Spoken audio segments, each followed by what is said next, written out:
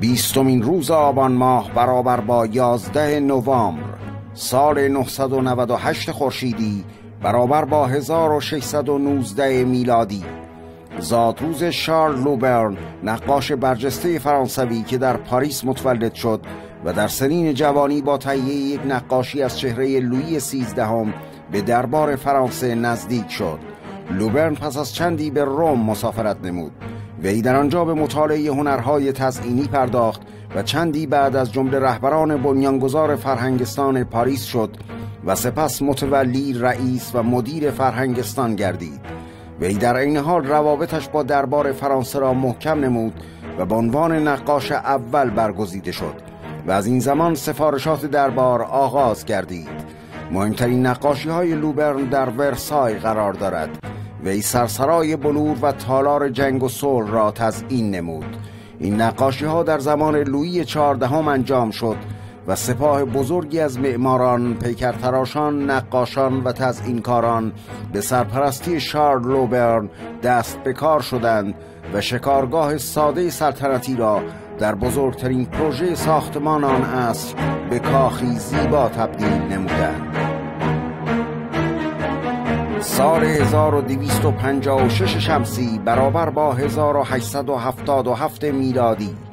اعدام اگوست وینسنت تودور سپایس که در جریان اعتراضات کارگری 1877 شیکاگو به درگیری مسلحانه با پلیس متهم و اعدام شد. او از جمله کارگران آنارشیستی بود که بر علیه فشار اقتصادی سالهای بحران سرمایه‌داری که به دستی و رنج کارگران انجامید اعتراض نمود و بر علیه ظلم و فقری که جامعه سرمایداری آمریکا به این طبقه تحمیل کرده بود شورش کرد.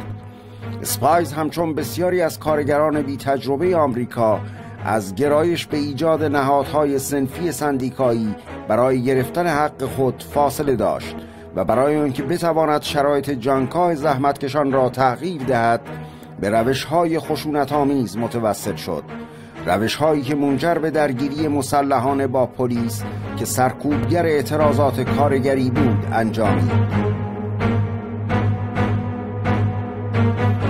سال 1331 خورشیدی برابر با 1952 میلادی کشف واکسن ویروس فلج اطفال توسط دکتر جونز سالک پزشک آمریکایی که پس از اتمام تحصیلاتش در رشته پزشکی به تحقیق و مطالعه در زمینه باکتری ها و ویروس ها پرداخت. وی در صدد بود تا ویروس ها را در وضعی قرار دهد که قادر نباشند موجب بیماری شوند لکن بتوانند پادتن ایجاد کنند که به نحوی مؤثر علیه بیماری قابل استفاده باشد. دکتر سارک واکسنی تهیه کرد و آن را به اطفالی تزریق نمود که سابقا به نوعی فلج مبتلا شده و طبعا بدنشان در برابر این بیماری مقاومت داشت. نتیجه کار کاملا رضایت بخش بود چرا که این تزریق باعث افزایش پادتن در خون می‌شد. این متعاقبا این واکسن را در مورد اطفالی که سابقه بیماری نداشتند استعمال کرد و این بار هم نتیجه مطلوب بود. از این رو این واکسن به مقدار زیاد تهیه شد و در دسترس عموم قرار گرفت. خبر کشف واکسن ضد فلج بعد از کشف واکسن آبله یکی از جالبترین پدیده های پزشکی بود که موجب نجات و سالم ماندن انسانهای بیشماری گردید این واکسن بعدها توسط میکروب شناسان دیگر تکمیل شد و به صورت قطره خوراکی درآمد که امروزه مورد استفاده وسیع مردم سراسر جهان قرار می گیرد.